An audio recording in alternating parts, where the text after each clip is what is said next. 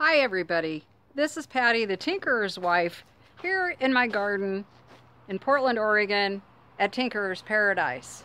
Welcome to my channel. For those of you who are new, I want to welcome you um, and would you please subscribe and all of you, before you leave, please hit that like button. That is one way you can help support this channel and also let YouTube know that these type of videos are valuable and worth uh, sharing. So I just want to ask you to do that. Those are simple things. Um, but also, hang around and I'll take you on a tour. And I've got a special thing at the end. I'm going to show you how to grow mint without it getting out of bounds. This is a trick I learned years ago. So hang on. That'll be near the end. Okay, here we are. Those of you who have not seen this view, these are the garden boxes. I came up with this design and the tinkerer, who is great at fixing things, is also great at building things. So he figured out how to uh, construct these. We actually, it's kind of a spin-off from, I think it was Justin Rhodes' um, father-in-law, who is a um, engineer down in Florida. He made the hurricane-proof boxes. Well, these are um, the Tinkerer's version of those boxes. So um, this is reclaimed metal from an old mink farm here in our region. Um, so yeah, they actually do have some reclaimed stuff. Unfortunately, I didn't get the cedar I wanted. That was the tinkerer's decision, not mine. But they will last a long time, and there is no soil up against the uh, boxes themselves so that was that was a good thing. That was the only reason I didn't kick up a fuss. So anyhow let's get back to this. Um, little garden tour. I haven't done one in a while so I thought I'd catch you guys up. We have cucumbers that are climbing now and we actually have some little babies coming on here. I'm not going to go through the proud mama thing where you got to show everybody the fruit but a um, couple things I do want to show you here one of my favorite things is this guy right here. And let's see if it'll, can you see how soft that is? I'm trying to get it, I'm gonna have to go down here. I think it does it better down here. Let's see, let's go right there. There we go. That's velvet. Now this is a Baker Creek variety. I got a lot of my plants from Baker Creek, the seeds anyway. It is Purple Shine Eggplant. Um, I'm looking forward to these eggplant. We love eggplant at our house. We've been eating a fair, not a fair amount, but we've been getting some fruit off of this other one that I bought because, oops, it has variegated leaves sometimes. Uh, some of the leaves are coming out variegated, like that one right there. You can see it. Yeah, so anyway, um, and we've gotten, we've already gotten three or four fruit off of this one. It's really starting to come on. Uh, the plants in these beds, this particular, cannot talk. The Solanaceae plants like the soil that we got. Some of the other ones not so much, and you'll see that, and I'll probably point it out, but I'm not going to complain about it. Just something we got to figure out here. And that's what happens when you bring in soil like we had to do. Uh, we garden under fir trees, those of you that are new uh, so it's a little challenging. This is Mary's Niagara Ground Cherry, supposed to be one that is more cold hardy. That, that guy right there at the base, where's my finger? There it is. That is a ground cherry that's ready. Uh, they turn kind of a wheat color, fall to the ground. The husks act as a little wrapper. Peel back the wrapper and you can bite off the fruit inside. It's really great garden candy. Now we've gotten about four or five squash off of the Ronde de Nice. Uh, it kind of took a little rest and now it's got some more that it's producing. I'm really happy about that. If you ever grow these little zucchini like this, this is a zucchini, um, I would recommend that if you want to eat them fresh, you harvest them at a pound. So that's going to be like softball size. Um, and then you can let them get to two, two and a half pounds before they start getting very seedy. That works really good for sauteing. Uh, you can let them get a little bigger and make little bowls out of them and stuff them, which is fun. Um, I do that, make an Italian mixture. You can do an Asian mixture of meats in there. Sausage with um, sausage with uh, lemongrass and uh, ginger, things like that, garlic uh, for the Asian one. Uh, throw in it, you know, dress it with a little lime juice. Anyway, um, got a zinnia here that's actually going to bloom. I was wondering about those. My habanetas, which are just barely starting to bloom. So we're supposed to have some warm, so, uh, warm weather coming up here again. Uh, actually, we've been having it off and on, but we have rain coming in tomorrow. I'm happy for the showers. They do help with watering. Um, I've got some carrots over there. I can't remember what variety that one is. Um, but I've got kale here. Now, these kale have been in here. I've got to tell you guys, these have been in here two months. So yes, we have some issues with the soil we have to figure out. I'm only showing you this because I want you to know that it it's never perfect. Even if you think, well, I got three-way mix, it's got a big amount of compost in it, should grow great, which was exactly my thought. And it felt like great soil, turned out to not be. And so we're having issues that we're having to uh, rectify, and that's okay. Now, one of my goals was to have vines climbing on the trellises. You know, Jess and her famous trellises. Well, I have things climbing. Oh, hello, hummingbird. Go ahead and get something to drink. Yes, thank you for joining us. Yep, we have, um, I know, he's not very happy. He's like, you're too close to my food. Oh, here, we're gonna have, we're gonna have a fight. Sometimes we have little aerial battles. There might be a pair. Oh, that's a female, so that's probably a pair. The males will let the females in. The ma other males will chase off other males. Um, they act like there's not going to be enough food. I think it's pretty funny.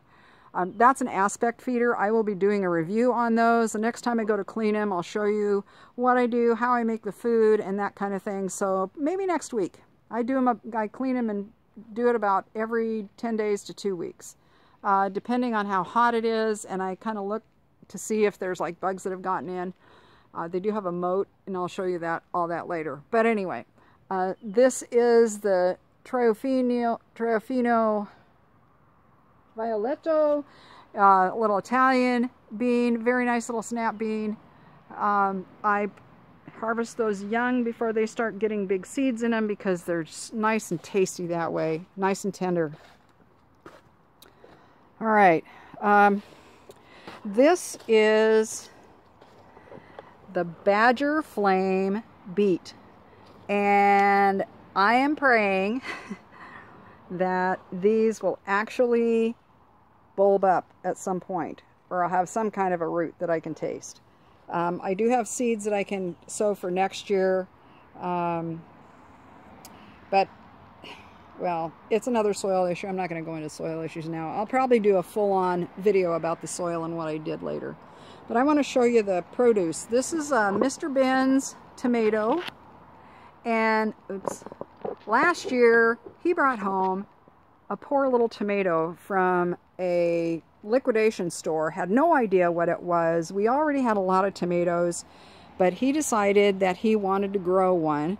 You know, he's he's kind of a, a guy that rescues things, I gotta say. He is. He's a guy that rescues things, and it's been doing really well. Um, so we did have something eat this. I don't know if you can see that right there. We had something eating it. Yeah, so anyway. Oh, let me explain. I've got like metal stuff in here. Um, I actually have used these for decoration in the garden. That's actually project metal. Um, I do have more over here. you can see. I was cleaning this out yesterday. It was had blackberry vines growing in, all kinds of weeds. So I got in there and pulled stuff out. Um, and now I have to figure out what I'm going to do with all of it. And some of it I'm going to sell. Some of it, like these little chairs here, I'm going to paint those up and probably sell those for somebody else can take them home and love them. Uh, that's kind of why I got them anyway. They're not my style. A little too frilly. Um, but yeah, so that's what that's all about. Let's get back here to the tomatoes. This is Brad's Atomic Grape. I don't want to show you this one over here. This is just barely starting to get color on it it it's a, actually more like a paste tomato. Um, it's a big, honking, heavy, meaty tomato. So I'm looking forward to that one. Um, this tomato here, that is Alex's tomato from next door. It was an unknown heirloom variety that really was a nice tomato. And this over here, that is uh, summer wine, or vintage wine, excuse me, M.I. Gardener, Luke over at M.I. Gardener. That's one of his offerings. Um, and I'm looking forward to that one. If you don't know Luke over at M.I. Gardener, check out his YouTube and check out um, his seeds and his shop. Um, really great guy, really good service, uh, just a, a, sweet man, and also a really good educator when it comes to gardening. Um, I just want to share that with you real quick. Um, also show you what is happening with this um, I noticed that we're starting to get mildew. That's not a good thing. I really, yeah. This could be because of the excess moisture. It could be because it's in here and not getting the air circulation it needs. Um, we normally have really dry summers here. I know, it's Portland, right? Doesn't it rain all the time? No, it does not. From July 5th usually until in October when it starts getting regular rains. We don't have hardly any measurable rainfall. This year's been a little different. Um, these are going to get planted in a different place next year, but they look very, I mean, they look so pretty in there. Look at, that's Berggarten, that's tricolor, or excuse me, Icterina, which is the gold variegated sage. That's the purple leaved one. That's lemon verbena for those of you who hadn't seen that one yet. And I go over here, we have the rhubarbs doing really good in those containers. If you, um, you know, they talk about kiddie pools. Well, those little containers work really good here. Oh, I want to show you this, and I've got to go over here to do it. That is Barry's Crazy Cherry. And it is a multiflora, so you can get like up to 32 fruit. I don't know that we're going to get 32 there, but there's fruit there. The um, Green zebra is starting to ripen up. It will be, we will harvest it before it turns yellow. It, it'll be green with more of a white stripe, but we don't wait until it gets yellow because we like the more acidic flavor that the greener tomato has. It's a little too musky for us when it ripens fully. Um, red brandywine is doing really nicely. Um, I don't know how much fruit we're going to get off of that one. Um, then we've got the good old classic beefsteak. You know, people say we can't grow beefsteak tomatoes here, but we can. You just got to know what you're doing. The nice thing about these here is I will be able to cover them to some degree uh, with some plastic if it's a little too cold later so we can get them to um, ripen. This is Dr. Wycheese or Dr. Witches. Wyches. Dr. Wycheese is a lot easier to say. Thank you, Jess Soward.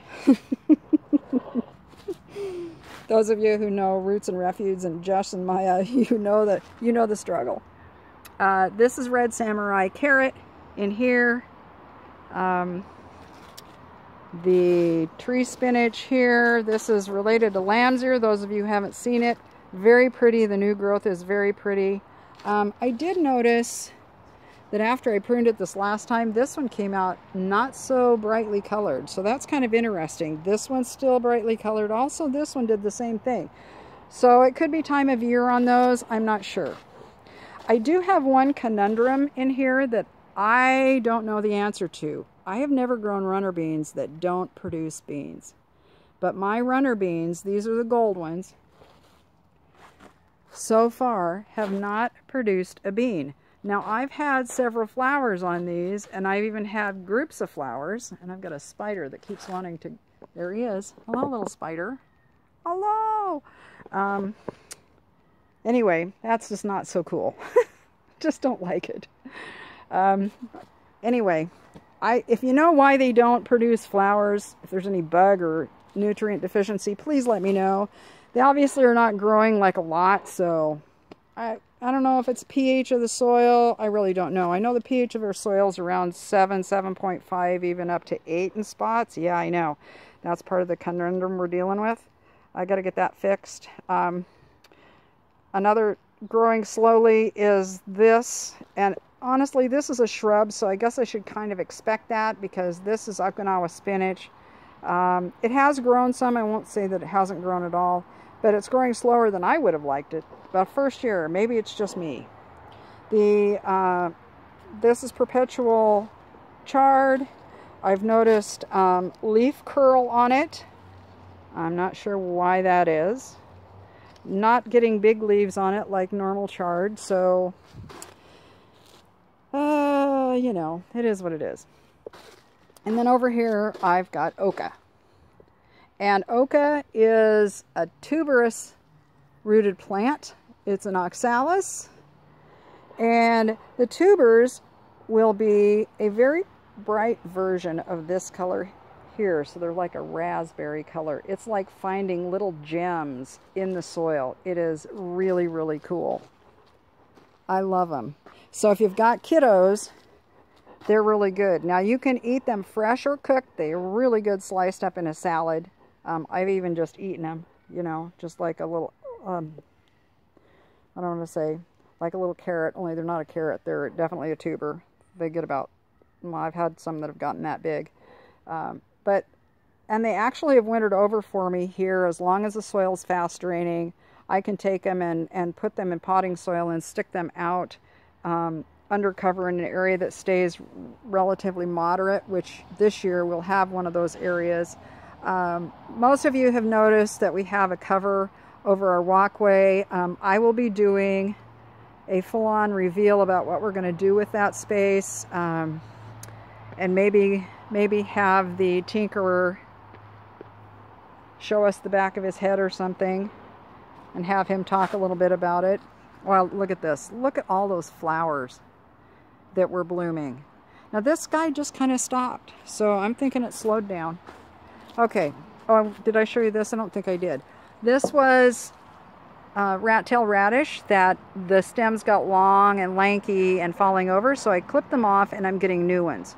This is what you can do with this plant to keep it going. So rat tail radish has very spicy pods that are really good for dipping.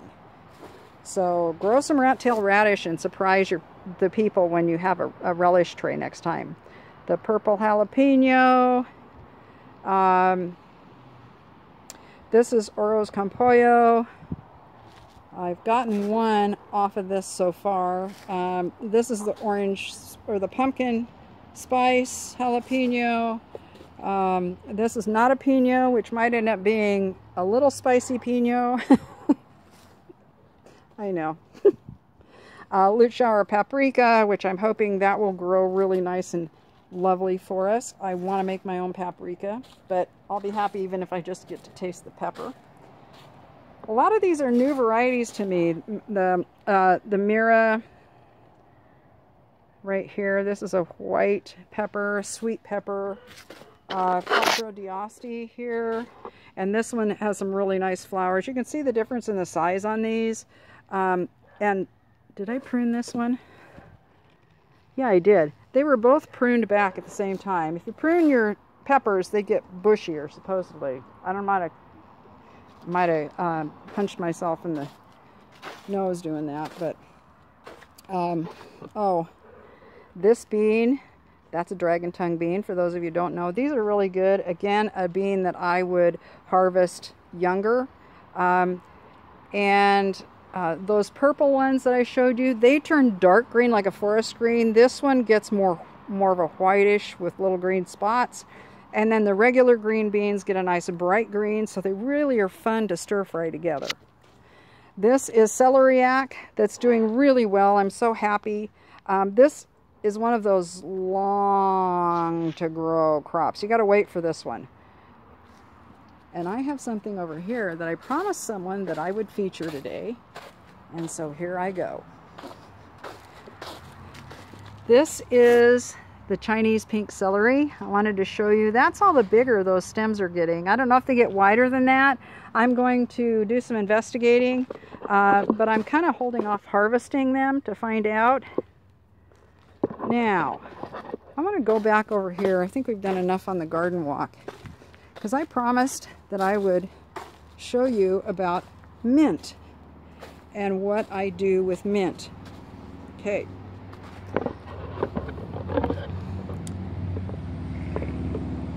They drink a lot of water, these poor things.